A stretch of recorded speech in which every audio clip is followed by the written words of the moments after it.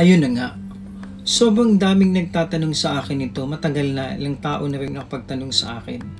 Tinatanong nila kung okay lang daw ba yung magpapalaro online habang nagla-live kayo. Yung tinatawag nating guessing game o di kaya yung nagpaparaffle.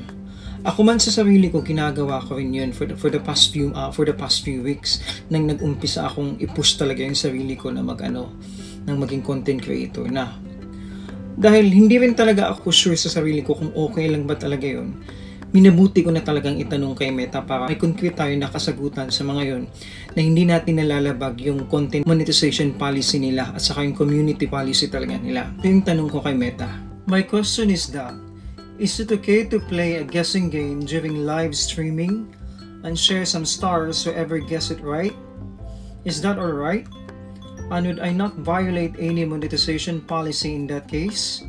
I'm just making sure I'm following the policy correctly as well as the community policy too. Regarding with your concern, there's nothing wrong on doing game while on live streaming as long as you follow our community guideline and as well as policies. Is it okay to share some stars whoever gets it right?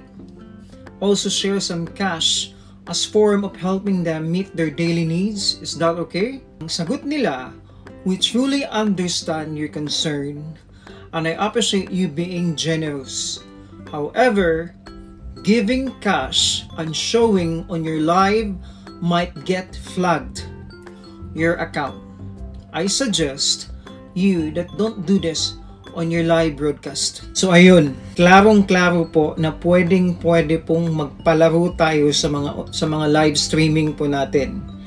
Ang pinaka kailangan lang talaga nating isaisip habang nagpapalaro tayo, bawal po nating ipakita ang kahit na monetary amount during sa live natin uh, just to make sure bawal tayong magbagit ng any amount na lang din just to be sure na hindi wala tayong nalalabag na monetization policy ni Meta o di kaya yung community rules ni Meta. Kahit sino sa atin pwedeng pwede pong mag-live na nagpapalaro tayo, magpapagasa at mamimigay tayo ng stars. Ayun guys, ang kasagutan ni Meta. For more tips and questions on creating reels, follow for more. Bye!